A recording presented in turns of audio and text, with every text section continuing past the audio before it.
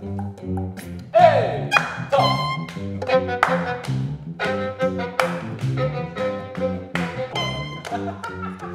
but you feel the fun, huh? You see the fun.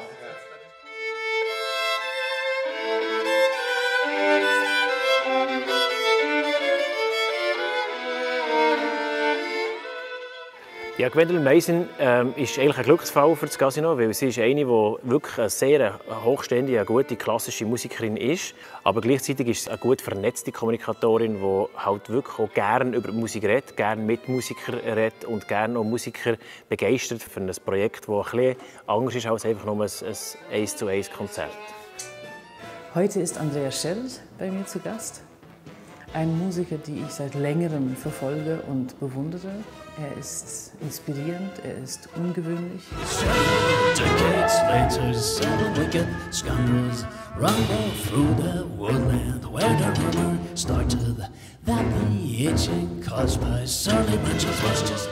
Er hat eine einzigartige Stimme und eine einzigartige äh, Kontrolle über seine eigene Stimme und hat die Freiheit vom Geist von Fantasie, um über die normalen Beschränkungen, die man kennt, in der Musik hinauszudenken.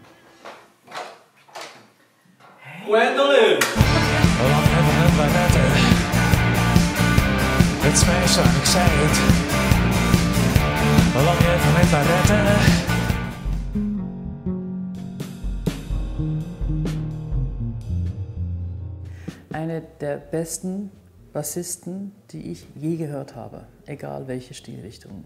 Diesen Mann groovt. Es ist für ihn nicht möglich, einen Bass in die Hand zu nehmen, ohne dass es einfach anfängt zu grooven. Wolfgang Zwiauer, ein Bassist, die ich glaube im Jazzkreisen überaus bekannt ist. Für Leute, die äh, Rock, Mundart mögen. Er ist äh, der Bassist von Zürich West. Für mich ein, ein persönlicher Freund, den ich gut und lange kenne, wo ich nach jahrelanges Warten endlich eine Möglichkeit gefunden habe, dass ich mit ihm spielen kann. Hello. How are you? So ist das eben. Jetzt müssen wir Töpfe suchen, so schwarze Töpfe, die nachher die Gwendolyn spielt für uns. Zum Beispiel.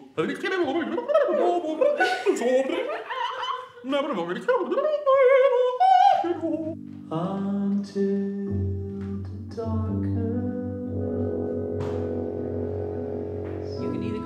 ghostly sounds, something very light, or you can really just take a carpet single notes. It's a bit easier to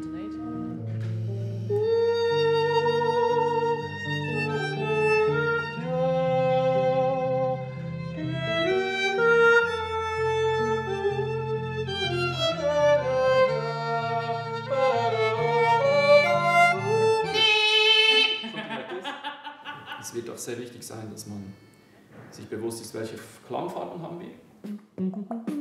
Also du du du du du du du du du genau.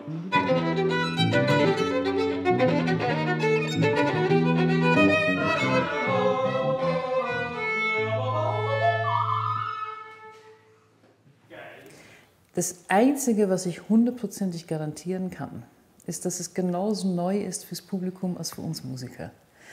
Wir wagen einen ähm, Unikat jedes Mal. Das erste Konzert am 26. Oktober als Beispiel. Ein Werk, der bekannt ist im Originalfassung, und zwar ein Violinkonzert von Bach.